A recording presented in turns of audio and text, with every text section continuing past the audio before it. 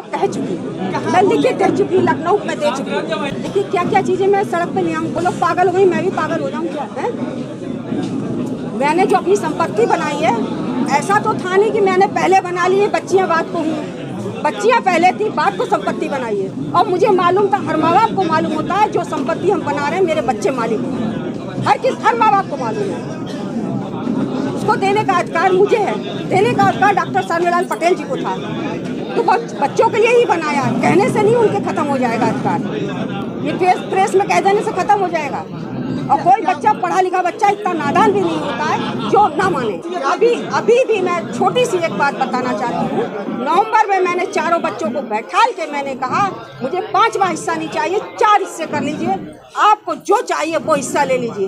हालाँकि पल्लवी और पारुल ने यह भी कहा, पहले आप लोग ले लो, उसके बाद जो बचे हमें दे दो। लेकिन मैंने इतना ज़रूर कहा, इस प्रॉपर्टी की चीछा लेकर मत करना, आराम से ले लो। और इससे ज़्यादा क्या कहा जाएगा? जब समझ में नहीं आ रहा तो मैं क्या करूँ? गाइड करने वाले लोग खड़े हुए हैं, वो मिसगाइड कर रहे हैं। इस घर की खिल्ली उड़ाने वाले लोग खड़े हुए हैं, वो कर रहे हैं। और ये चुनाव आते ही हो रहे हैं, चुनाव हो जाने के बाद सब खत्म हो जाएगा। मेरी स्थिति के आशीष का जो मन आए कर सबसे बड़ी बात तो मैं बता दूँ, पटेल साहब का जिस दिन देहांत हुआ था बॉडी भी घर अस्पताल से घर में नहीं आई थी। आशीष ने उस दिन मेरे घर में ताला डाल दिया मेरे बिज़नेस में ताला डाल दिया था। इससे ज़्यादा घटिया हरकत क्या हो सकती है? बस। उसकी तो हम सरकार से सीबीआई जाँच कर रहे हैं। दूध का दूध पानी का पानी। नहीं? हम लोगों ने कई बार की बहुत बार कर रहे हैं। हमारी सुनवाई हमने डॉक्टर साहब जब से गए तब से उठवा रहे हैं। देखिए ये तो कहने सुनने के लिए विपक्ष इसलिए रहता कुछ भी कहता है क्योंकि अभी हमारी कोर कमेटी बनी हुई है। कोर कमेटी की बैठक होगी उसमें हम लोग निर्णय लेंगे। उसके बाद हम अखिलेश के साथ मीटिंग करेंगे तभी आपको बता हाँ चलना सिखाया था तब वो छह महीने की थी। चलना जब सिखाया था तब छह महीने की थी। और नेता में जब लाए तो 26 साल की थी इसलिए बहुत फ़र्क हो जाता उसके बीच में। जब एक कील दीवार में ठोकी जाती है ना रोज रोज रोज रोज रोज एक दिन वो अपना स्थान बना लेती है मैं बना रही हूँ। विधायक मैंने बनाया सांसद मैंने बनाया मंत्री मैंने बनाया विवाद किसने पैदा कर दिया पार्टी किसने बनाई? सांसद विधायक तो मैंने बनाया। लेकिन पार्टी किसने बनाई?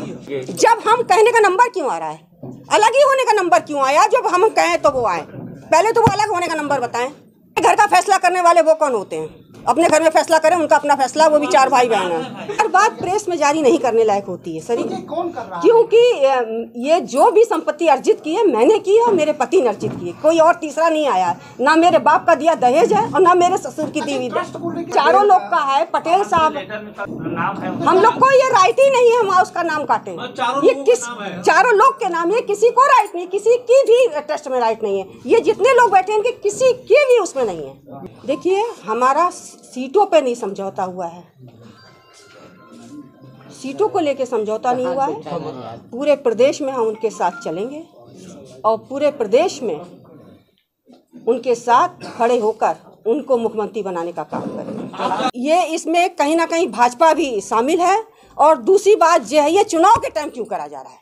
तो असल में मेरे पास अभी तक छोटा फ़ोन था, वो फ़ोन नहीं था बड़ा वाला। मैंने दोबारा फ़ोन किया तो वो फ़ोन लगता ही नहीं उठता ही नहीं। लोगों का कहना जिस तरह से आपको लग रहा संपत्ति बटोरी काय बात की संपत्ति मिलेगी मुझे?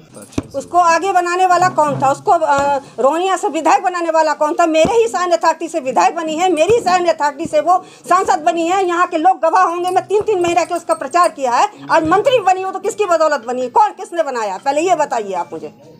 पहले बताइए आपको। कि उसको किसने बनाया और उसने दूसरा दल बनाया तो किसके कहने बनाया? क्यों बनाया? क्यों नहीं मुझसे सहमति बनाई आशीष जी के कहने से बनाया। आशीष जी के इशारे पे बनाया। पूरा रोल है आशीष जी का। आज परिवार का जो विघ्न हुआ, आशीष जी की बदौलत हुआ। ये ये ट्रस्ट मेरा नहीं बनाया है। जैसा कहीं डॉक्टर पटेल का बनाया हुआ है, चारों बेटियों के नाम है, मुझे ये हटाने का अधिकार है ही नहीं। कोई ना कोई उसे गुमराह कर रहा है और ये चुनाव के समय ही किया जा रहा है। ये इससे पहले इतना विरोध नहीं किया जा रहा था। उससे पहले अमन का नाम नहीं आया था। मैं दो महीने से घर ही नहीं गई हूँ। कि जो भाषा लिखी है अमन ने, वो भाषा अमन की नहीं है। भाषा आशीष जी की हो सकती है। नहीं, अमन से अभी नहीं बात हुई है। जब मैं घर में थी, तब मैंने उसको समझाया था। और मैंने ये भी कहा था, जो भी कुछ लेना है तुम लोग को, पाँच नहीं, चार हिस्से करके तुम लोग बांट लो। इस प्रॉपर्टी की छीछा लेदर मत करो और इस हिसाब से बांट लो कि सबके काम आए। मैंने वो गुहार लगाई रही है ना उसको भ्रमित किया गया है। जब पटेल साहब ने सबके ना, उसमें नाम लिखे हुए हैं सबको करा हुआ है मैं चारों को बांटने को तैयार हूँ तो क्यों गुहार लगा रही है? कहीं ना कहीं इसको भ्रमित किया जा रहा है। ये इसमें कहीं ना कहीं भाजपा भी शामिल है और दूसरी बात यह है ये चुनाव के टाइम क्यों करा जा रहा है? उसके बाद शांति आ जाती है। सबसे बड़ी बात यह है, मैंने पहले ही कहा, मैं ना चुनाव में प्रचार करूँ, ना मैं चुनाव में चलूँ, ना मैं अखिलेश जी के साथ चलूँ, ना मैं चुनाव लड़ूं, यहीं पे सब शांत हो जाएगा। मैं एक हाउस वाइफ बन जाऊँ। मुझे रोकने वाला, मुझे रोकने वाला कोई नहीं होता है, क्योंकि चारों बच्चों में, ना मेरे चारों बच्चे मुझे आगे लाए हैं ना मुझे हटाने वाले होते हैं। मेरे लाने वाले, मेरे पति रहे, मैं उनकी ज़िंदगी में दो बार चुनाव लड़ चुकी हूँ। मैं राजनीति में उनसे दस साल पहले आई हूँ, इसलिए मैं, मेरी मर्ज़ी का कोई मालूम नहीं किसी ने मुझे कुछ किया नहीं है, मुझे कुछ दिया नहीं है। मैं अपने पति के व्यवहार से लड़ रही हूँ, पति के व्यवहार से चल रही हूँ और उन्हीं की कमाई से चुनाव लड़ रही हूँ, इसलिए मुझे कोई रोकने वाला नहीं उनकी कितनी सीटें आ सकती हैं? उनकी कम से कम साढ़े तीन सौ सीटें तक आ सकती हैं।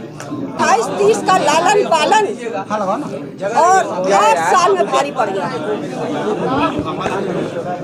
मैंने अच्छी से अच्छी शिक्षा दी, अच्छे से अच्छे संस्कार दिए, अच्छी से अच्छी पढ़ाई दी। अब दूसरे की बुद्धि पे आके सब भारी पड़ गई